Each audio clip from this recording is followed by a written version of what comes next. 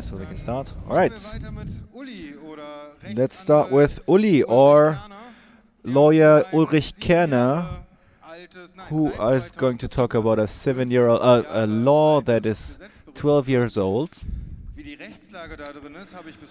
Well, how the how the law is being implemented, I don't really know, but it applies to me. So I think, help! I use Nmap. Stop! Stop! Stop! Stop! Stop! I'd like to see the hashtag. If you have questions from the internet, Twitter and IRC and Mastodon, please use these hashtags. And now applause for Uli. Hello everyone, thank you for coming. I'm super happy to be here. I have already held a talk three years ago in Hamburg on the Congress. Today we're talking about the hacker paragraph. 202c in the German Strafgesetzbuch. Please, uh, it, the, the subtitle is do not do not post in the wrong forum. That will be explained later. What do I want to talk to about today? First, an introduction where we are right now.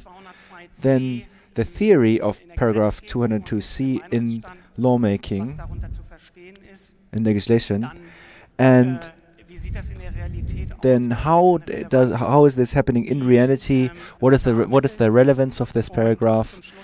And then in the end, a little bit uh, outlook and answering questions. Basically,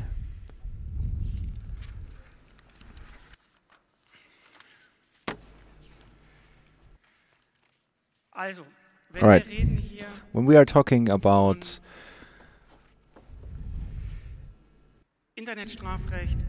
Internet legislation, then we have to talk, to talk about two things.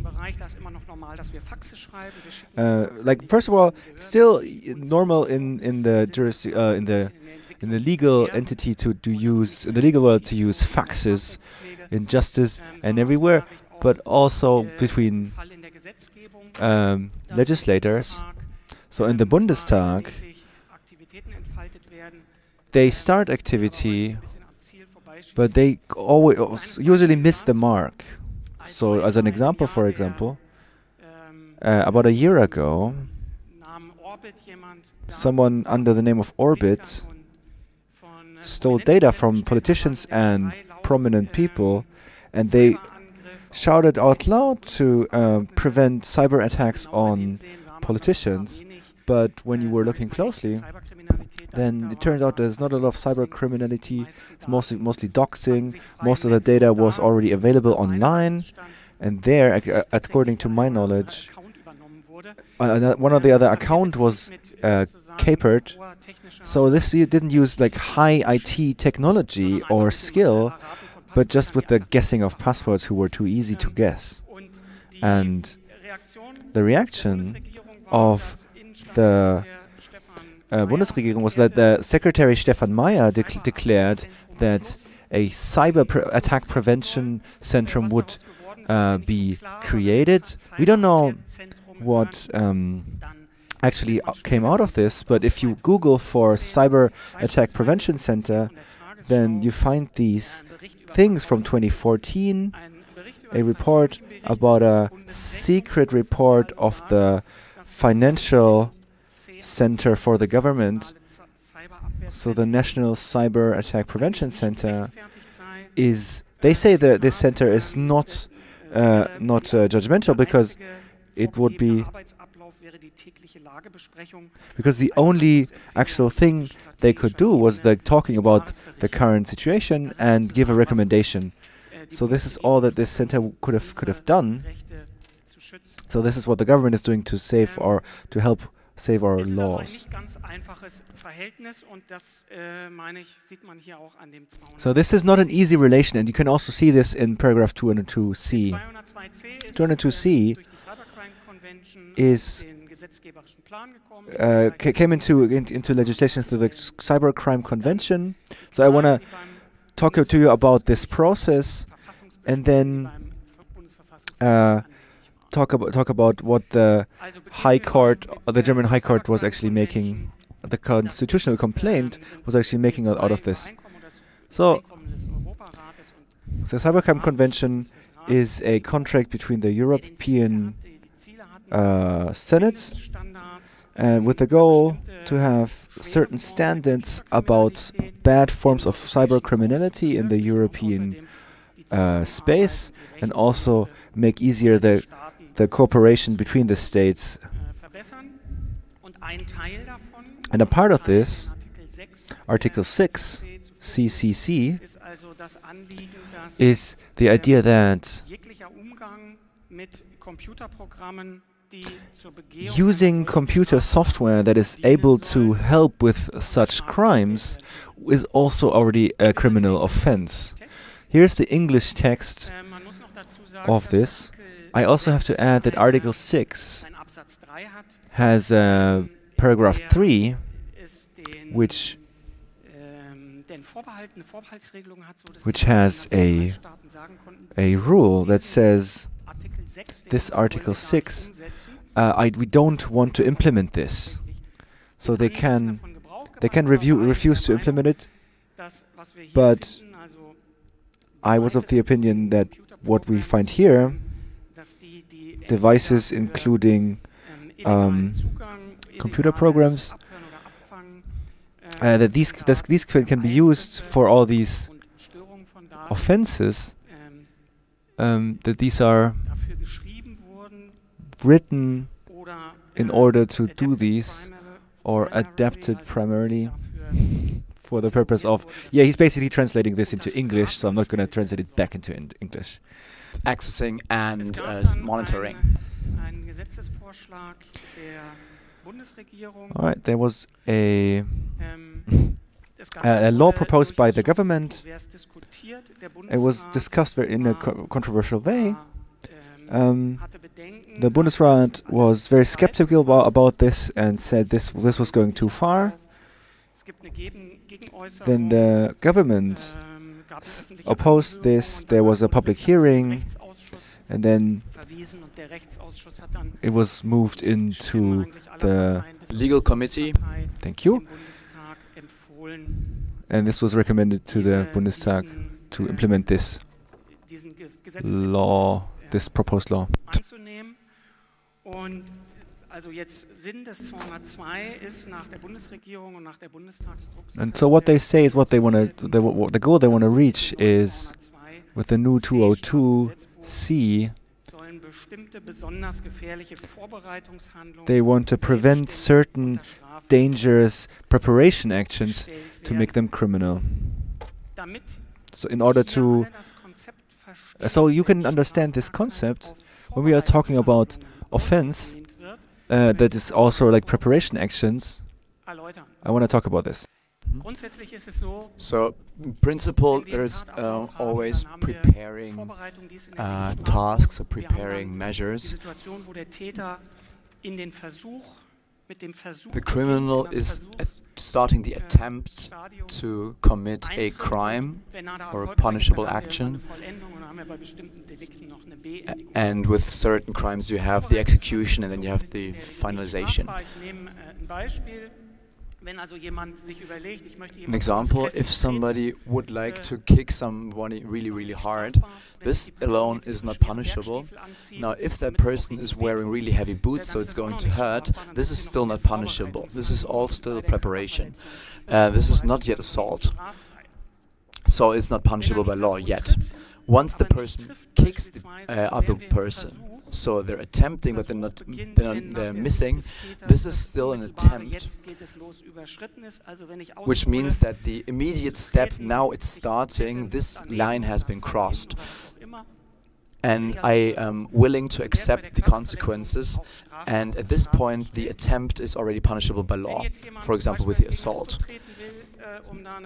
No, If you if you want to kick a car to put a dent into it, and the person misses because the car starts, it is an attempt uh, to damage property, but the as attempt is not punishable by law um, because the attempt itself uh, is only applicable for um, for laws that carry a minimum sentence of one year. Everything that falls into the preparatory stages is not yet uh, covered by the penal code, so it's not punishable by law. If you go into a shop to buy uh, growing lamps and uh, and uh, water for like uh, irrigation system um, to grow plants, um, this is not yet punishable by law. You need other actions to do that to be punishable. Now, it's in the interest of the legislator to uh, penalize preparatory tasks, preparatory actions under this new paragraph. The in its current form, the hacker paragraph uh, looks like this. If you prepare a crime under 202a or 202b with two preconditions, either if you uh, try to uh, access passwords or other uh, safety measures, or if you use computer programs, there that have the purpose to uh, execute such a uh, such an act or if you sell those, if you procure them, if you give them to other people, if you distribute them, or if you make them accessible to anybody else, you can be um, penalized with a prison sentence of up to two years and or a um, financial sentence. Now, this you only understand if you understand both 202A and 202B, so the paragraphs that this is based on.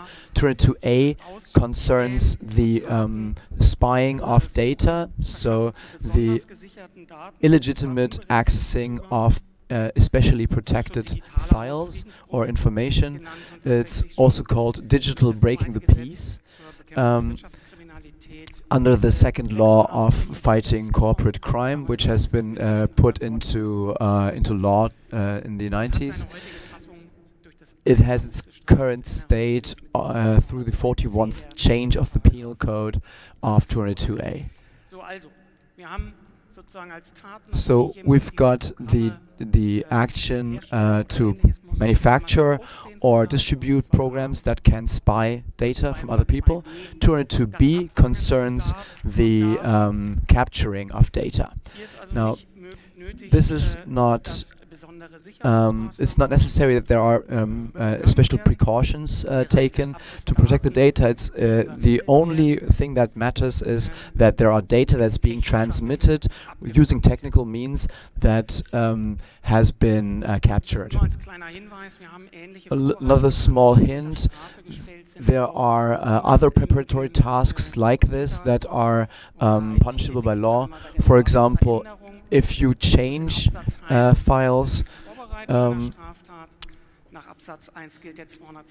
if you change files and delete files and the uh, law 202c is applicable accordingly under um, computer sabotage. So if you're interested in this, then have a look at this.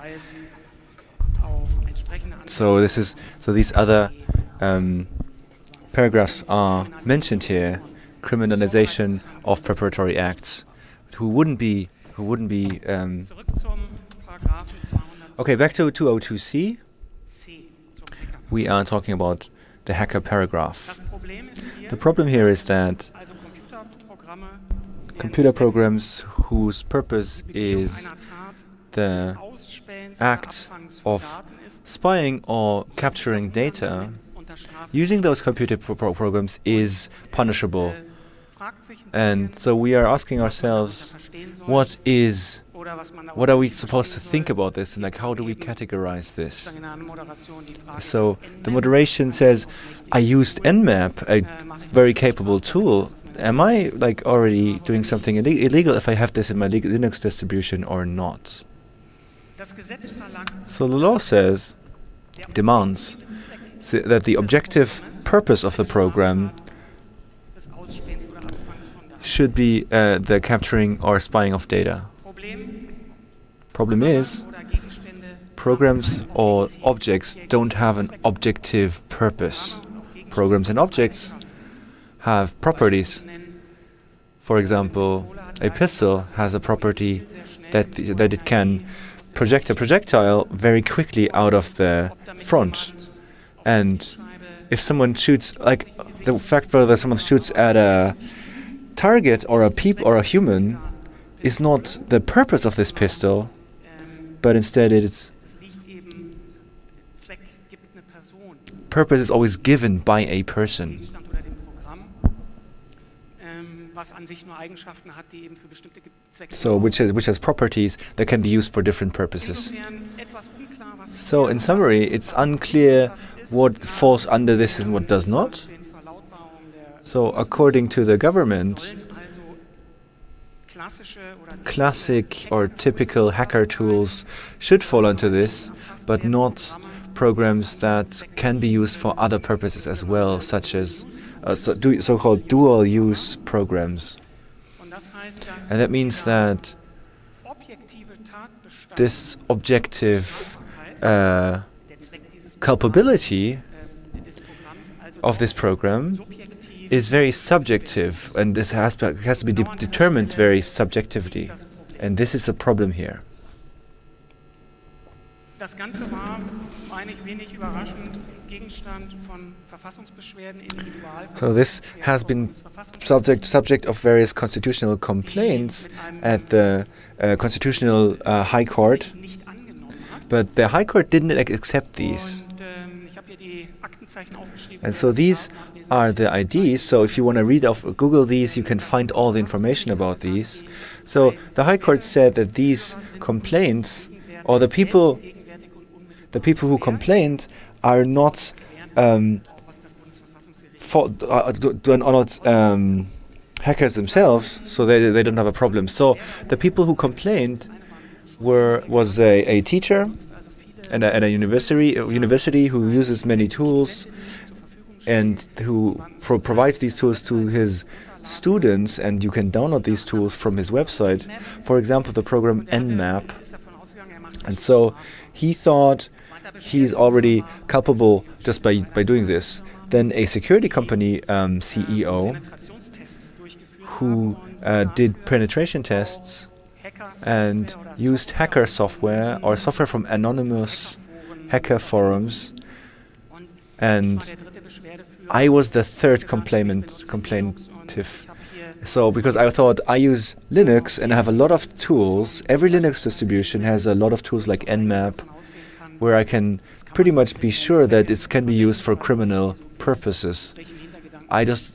Don't know what the purpose wa- was in the creator's mind of that program. And so I feel very threatened by this. Das Bundesverfassungsgericht verlangt So the High Court, dass der die Beschwerdeführer selbst unmittelbar um, gegenwärtig betroffen sind. Needs to know that the people are actually actually hit by this law.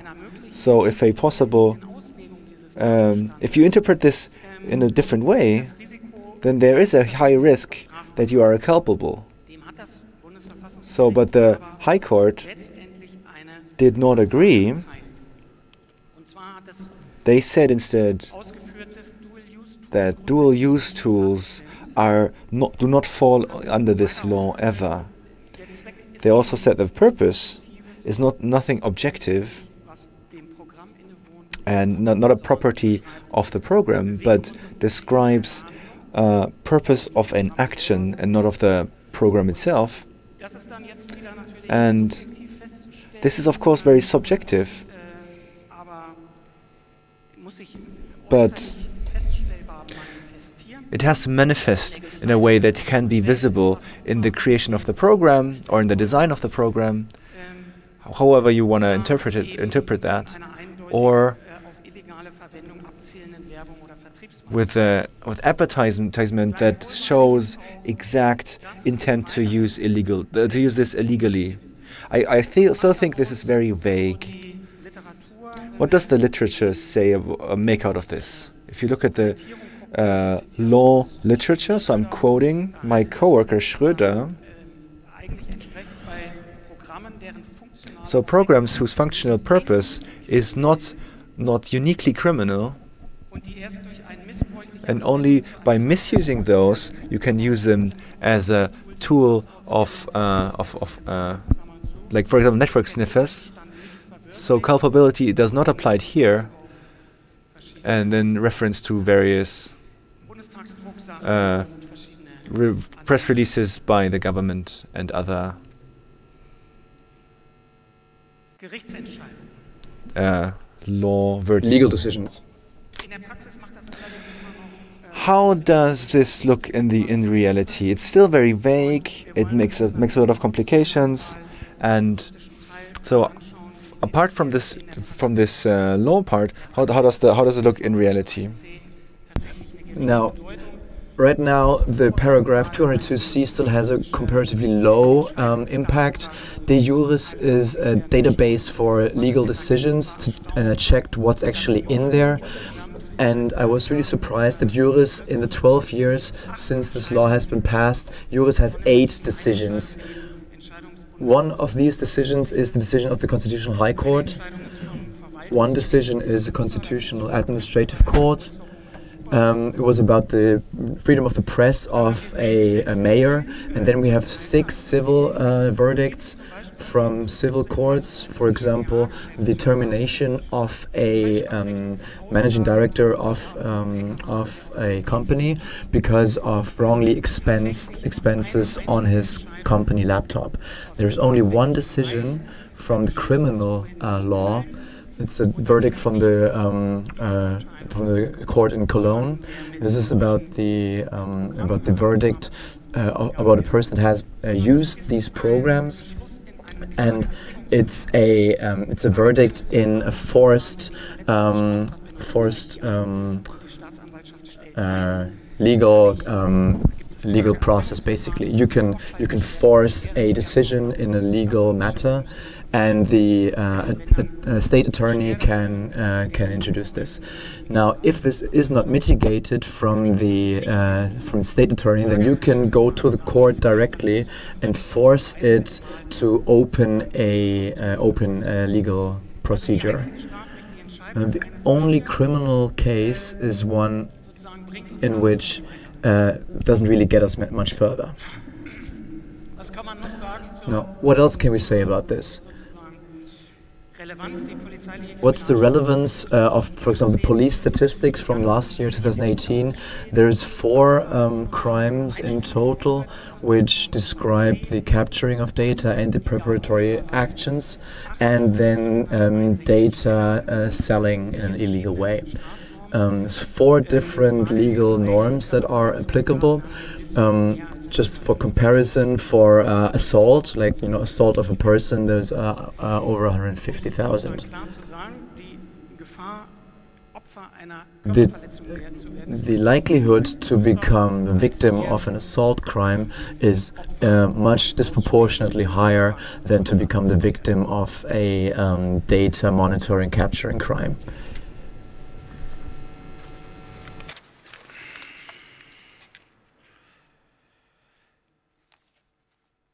Now, I waited a long time to see if somebody is going to contact me and tell me, hey, I've actually got an uh, investigation based on 202C.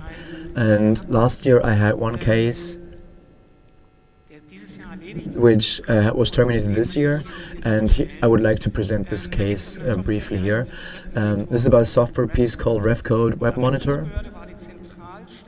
Um, the investigating authority was the Central um, Association Cybercrime um, ZCC at the State Attorney's Office in Bamberg. It's a special unit um, or special de department, um, quite a lot of personnel. We've got four upper state attorneys, four different uh, state attorneys, two in the uh, in the offices, and based on their own understanding on their own website, this central association is responsible uh, in all of the state of Bavaria for all the uh, elevated uh, crimes in the realm of cybercrime. Now, what was the problem in this case? Uh, one government official had found at hackforums.net he had found a thread which was on a web monitor which which was offered as a remote administration tool, RAT. And this is from the verdict from the court. Um, that this software was uh, was offered in a non-public forum, which is wrong. Um, Hack Forums has 3 million users according to Wikipedia, and you need to register. Everybody can register if you accept the terms and conditions. und dann kann auch sich And in this case, everybody can look at this thread and read what's been written. Ich bin hier ein bisschen zu weit und muss nochmal zurückgehen. Oh, actually, I have to go back a couple of slides. Also ein Remote Administration. So, remote administration tool. Dann hat sich da wohl jemand gedacht, da muss ich mal weitersuchen und Somebody thought I need to search a bit further and found a äh, blog entry. From my perspective, not a very seriously looking blog. Uh, it's quite, um, you know, uh, big, uh, like strongly worded um, article that this um, software was used in a CEO fraud to produce um, some sort of evidence. And he said that this was malware that looks, or you know, that, uh, camouflages as serious software without producing evidence for this. Uh, he said, "Is this is this well programmed? Which programming language was used?"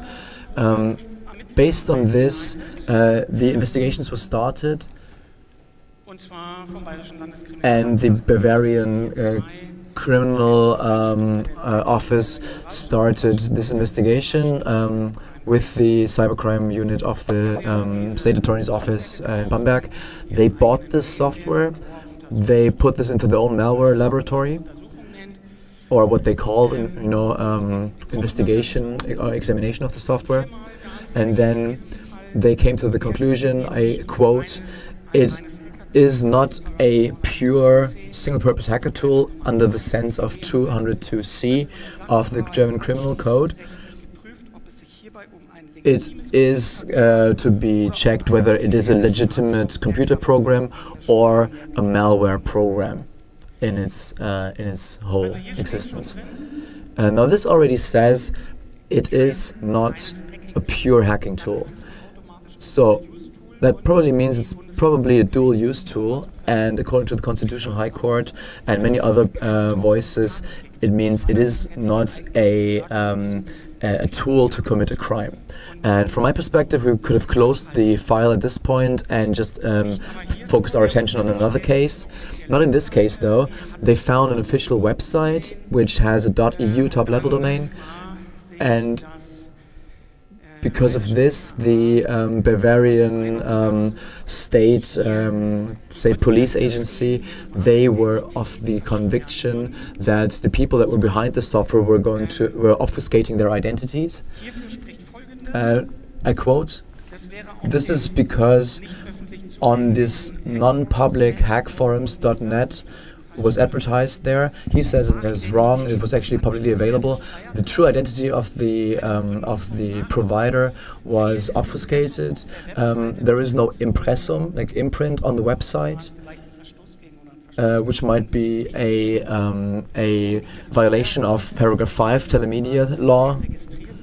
Um, the domain was officially registered, registered, and they had the mailing address of the person that had uh, registered the domain. The whois entry was complete, but then they saw that the registrar used for this domain was a Russian registrar, which they found very suspicious, even though it was done with the right name and the right address.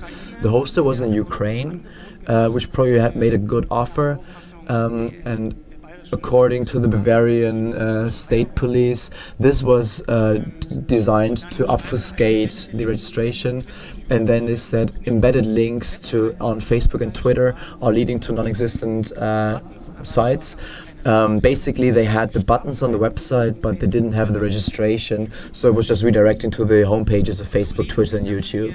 So all of this reads um, more or less, you know, it goes on like this. So the district attorney uh, uh, uh, asked for a dann schon heißt es hier, for f- Warrant. for a warrant. Thank you. And so this says the software should is is is very obviously a malware only used for uh, for some for, for an attacker to control a foreign computer. And so they tried. Ich muss ein bisschen auf die Zeit schauen. I have to look at the time. A, a judgmental warrant. eine große Diskussion. We have a huge discussion about this. Behörden die Zugangsdaten, Passwörter bekommen. So um, the public uh, or, or like law law law officials are supposed to get passwords and stuff using this, even by even for um, low misdemeanors. Wie funktioniert das, wenn And so how does this work? gefasst wird? Der Ermittlungsrichter bekommt also seinen Antrag von der Uh, so the criminal investigator gets a gets a file and can ask for uh, ask for a, um, a warrant, uh, or so they can sign it, or they can say, uh, "I think this is fishy, so I'm activating a control instance," and they can then refuse this act. So this is a, a lot of a lot of work, and so you cannot think badly of our judges that they look at the look, look at these uh, warrants like proto warrants and just sign them because it's just easier. So if someone says this is not a pure malware, and so it's automatically du- dual use, so it doesn't apply to so 202c doesn't apply. But if someone tells a judge it's obviously using used for these prop purposes, then I can kind of kind of see why they just signed this. And so on the other other side, we have this huge discussion about um, that whether whether people can can release their passwords. Um, and people say like, yeah, but judges control this. You have to say very clearly that this control is a very very soft control, and you can't take this seriously as a safeguard for the individual citizen's rights.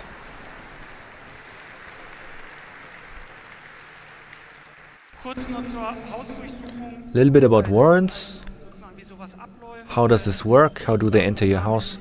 Uh, they came as civilians Kamen in Zivil mit einem Paket unter der Hand, with a package underneath their hands. They wanted to talk to the person schon selber übergeben. and who, who didn't come to the door. Drei Leute anwesend And there were three people present in the house in dem Objekt, was and asked for a specific person. Nachdem sich also alle So after everyone showed their passports and identified themselves, then the policemen actually started wearing their vests so they would be recognizable as policemen. So all the neighbors in this whole village, when they started carrying out everything what uh, was was available, they see they saw immediately that what are these people? Ah, yeah, these are police. Completely unnecessary and left a last a lasting impression in this village.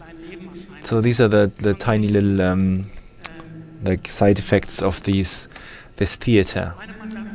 My clients, uh, my client, everything got got taken away from my client that can be take, taken away. All the computers which he needs for, for work, all data storage media, USB cards, USB sticks, uh, hard drives, all mobile phones, lots of um, correspondence, like paper corres- correspondence, was taken. They also found out which servers the man is using, so 12 servers were seized. All email, um, email was seized, email servers.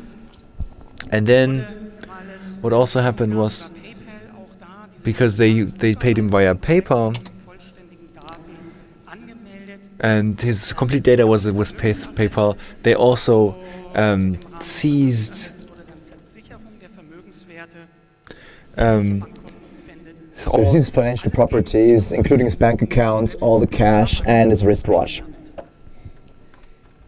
Dazu muss man sagen, es gilt natürlich die we have to add, uh, we still have to think about people who are uh, uh, accused as um, Maßnahmen, die jeden, der nicht The presumption of innocence. fängt, jeder normale Mensch every normal person who doesn't feel solidarity here is ruined. So you know your your your rent is not paid anymore.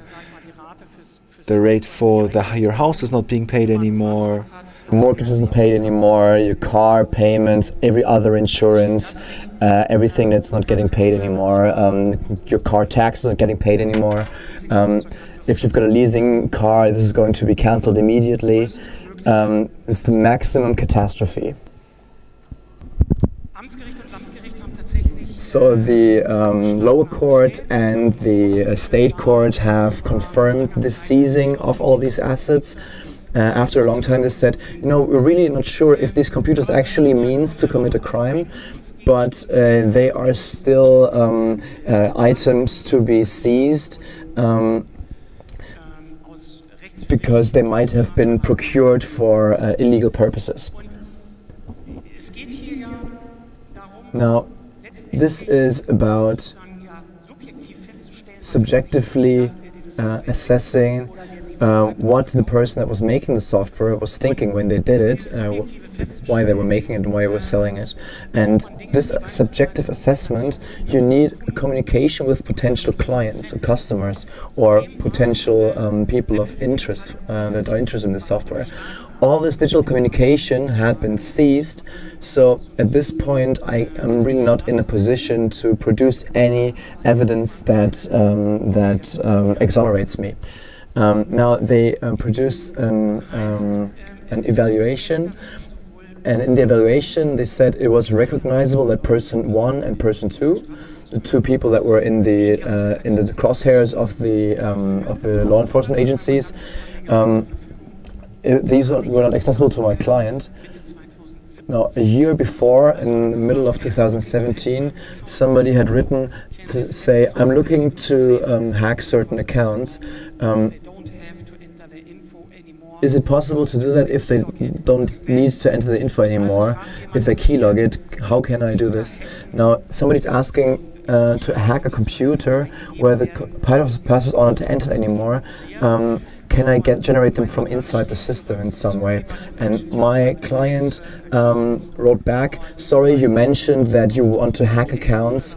Um, our legal guidelines do not uh, allow us to con- continue this correspondence at this point. So this is not our type of business. We don't want this business."